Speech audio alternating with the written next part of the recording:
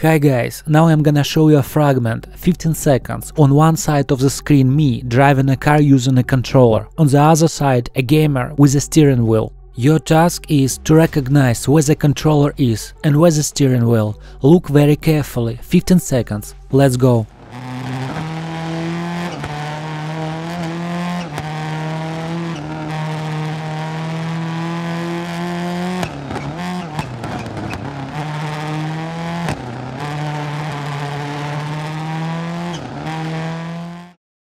Well, the answer is obvious, right? The difference so visible, explicit, evident. Okay, let's watch this fragment again with me speaking.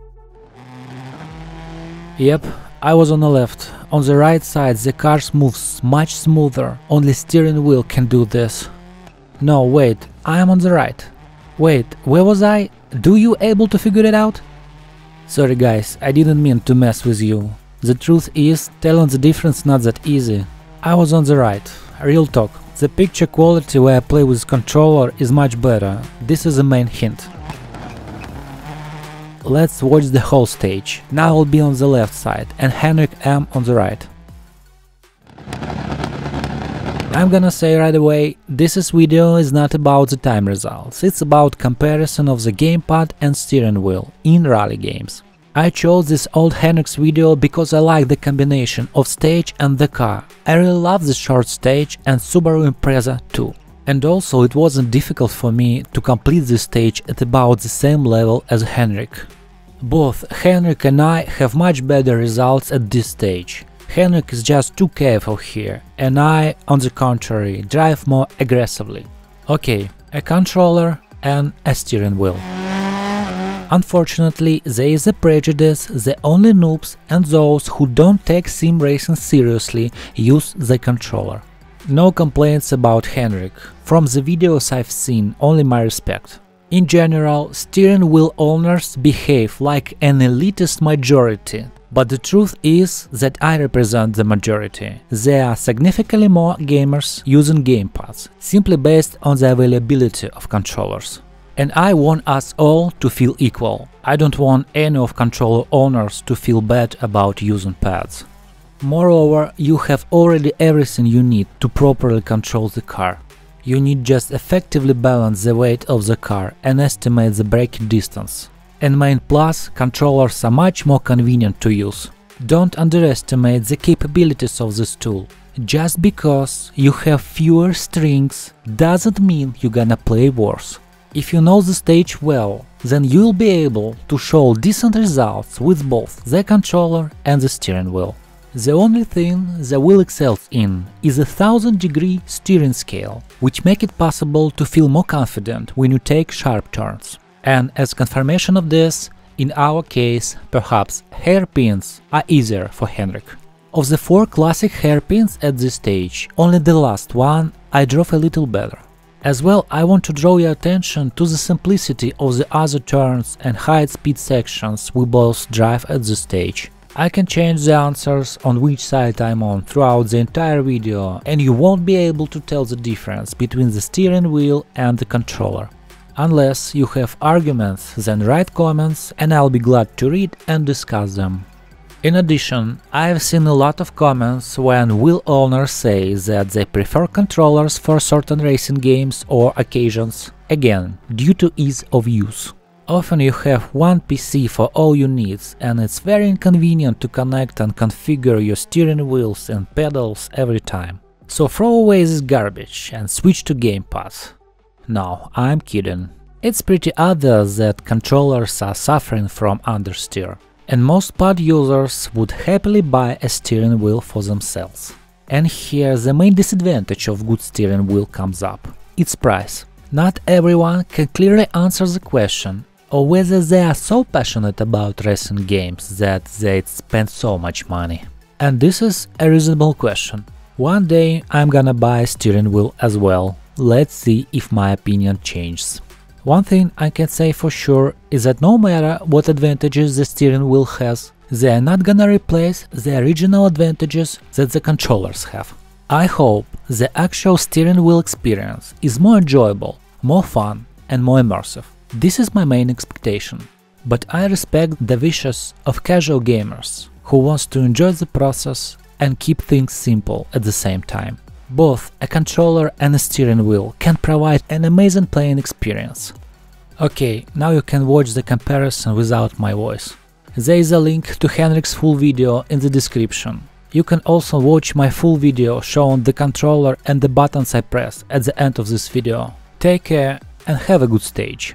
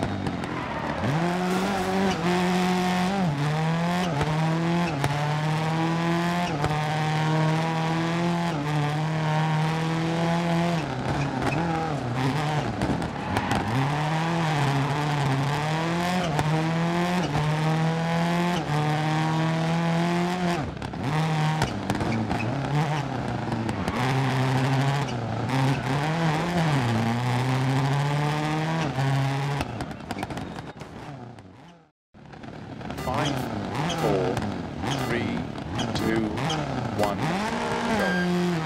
30, three left long, tightens, into three right long, opens, 80. Four left long, tightens, 50. Four right long, opens over crest, 100. Four right long, opens over crest, 80. Unseen, two left tightens. Opens long, tightens too long, opens into three right long, opens, keep left over 50, four right long, tightens three, into four left long, opens 50, three left long, tightens through tunnel, 50, three right long, opens, and six right of a crest, and keep left of a 33, right long tightens into unseen, open heavy left. Opens 30, unseen heavy right. Opens 6 long. 30, 4 left tightens, 30. 4 right tightens, into 3 left long, into 3 right. 30, 4 left, into one right long, opens into three left, extra long, 60. Four right long, opens over crest, 30. Four right, into three left, extra long, tightens two, long, into 4 right long, 30, 4 left, into 4 right long, keep left over 50, caution, 6 right, 5 left, extra long, into 5 right long, slow, keep right over 60, unseen, open hairpin left. Keep middle over 80, six left long, opens of a crest, keep left over 150, unseen, open hairpin right. Into six left long, 50, six right of a crest, jump, 50, three right tightens, three left, keep right over 50, over crest, six left, over finish, into four right,